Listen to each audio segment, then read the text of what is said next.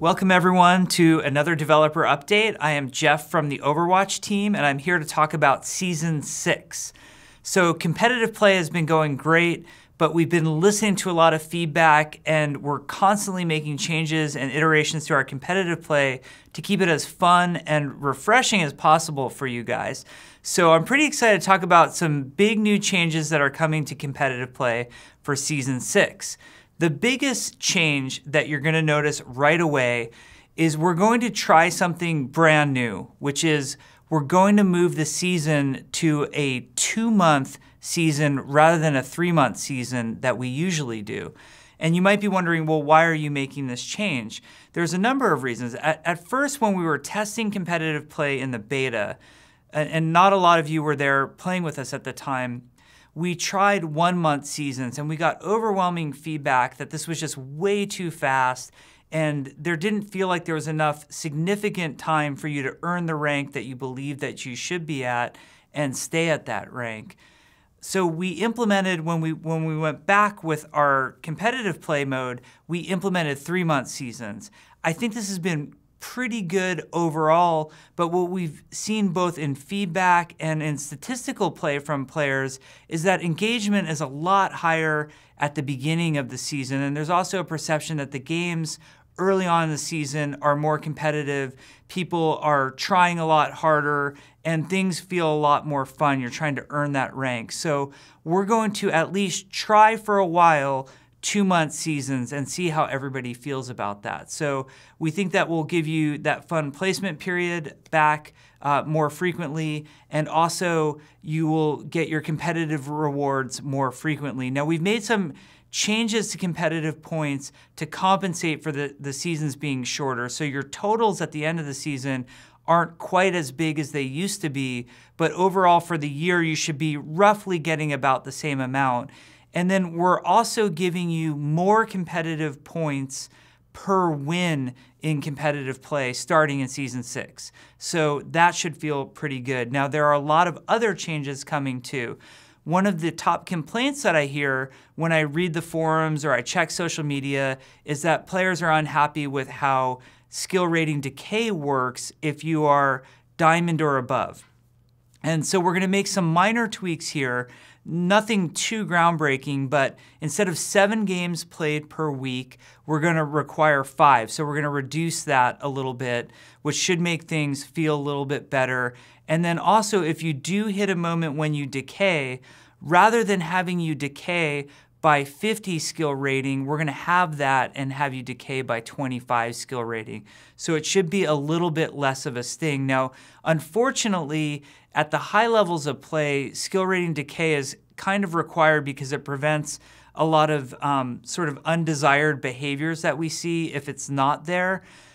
For the long term, we have other ideas to fight against the need for skill rating decay, but for season six, we feel like this reduction will make it feel a little bit better than what you guys have felt in seasons uh, four and five, for example. Now, there's some other changes coming to competitive play that I think uh, will be welcome, or I hope that they're welcome, which is a change to the way control maps work.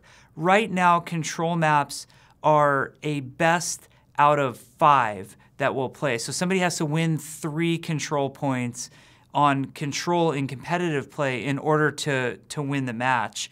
We've noticed that an inordinate number of these matches are going into overtime. We're seeing lots of 99 to 99% um, holds on control and a lot of five point maps and matches taking place. And this is resulting in very long match times. When we look at Assault Hybrid and escort compared to control, we were really surprised to see that control was sort of an outlier in terms of how long matches were taking.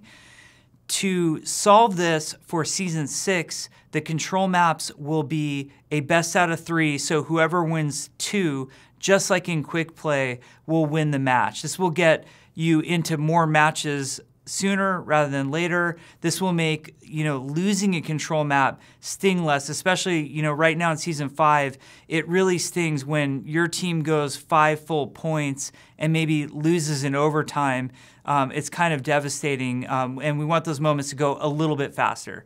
So that change to control is coming. We think that will feel great. The other thing we're doing for season six is we're changing how placements work to try to place you more accurately where you belong. In seasons four and five, we were doing some experimentation where we were actually placing you a little bit lower than where your skill rating should have been. And we were allowing you to climb a little bit more earlier in the season to just make you feel better about progressing. The problem was this didn't work for everybody. For a lot of people, what would happen is they would end season four, for example, at maybe diamond uh, skill rating, and then they would go and do their placements in season five and they'd end up in platinum and they'd end up feeling pretty bad, thinking to themselves, well, hey, I was diamond last season. You know, how come I'm so far off? And even though we knew under the hood that person was going to work their way back to diamond, it felt wrong deflating you on purpose just so you would have a sense of progression later.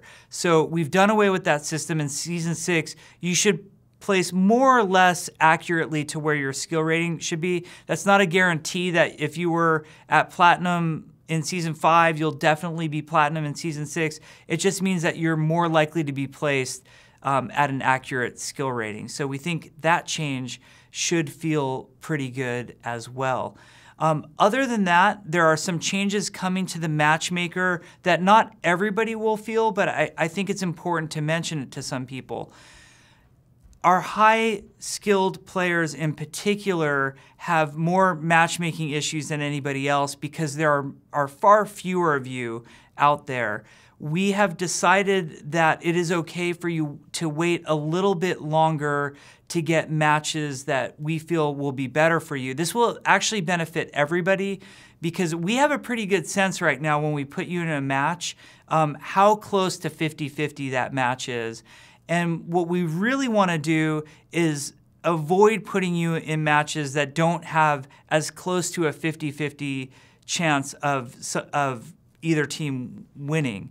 So this does mean that in particular for highly skilled players, you're going to have to wait a little bit longer to put you in a, in a better match. That means you won't get put in matches where you stomp the other team and gain uh, like a really tiny bit of skill rating. And also means that those of us that are a little bit lower skill rating than those, those high skill rating players um, hopefully won't be getting uh, stomped by those teams uh, quite as much. Um, hopefully, it's not super noticeable to most of us, and hopefully, it's a lot of fun. This, this, despite the fact that you might have to wait for a long time. If we sense that wait times are out of control or the matchmaking is not, you know, doing everything that we want it to do, don't worry, we will jump in there and make changes. It's something we're watching very closely. All in all, you have to know that the competitive play mode is an ongoing process we are never going to just let it stagnate. We, were, we will always keep trying changes and trying to make it better. We know that it's an extremely important part of the game, if not the most important part of the game, where players feel like they can find the truest, most honest competitive matches, and we want to keep it evolving over time. We think that the changes that I mentioned will greatly benefit everybody for season six. We think there, there will be an overall improvement in season six.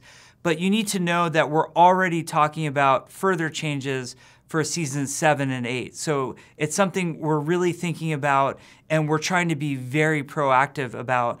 What's going to be very beneficial to us, though, is hearing your feedback on what you think about these changes in season six are accomplishing. Are they working? Are they not working? I know you guys will be vocal with us. I know you'll be clear in your feedback. So we really look forward to what you have to say.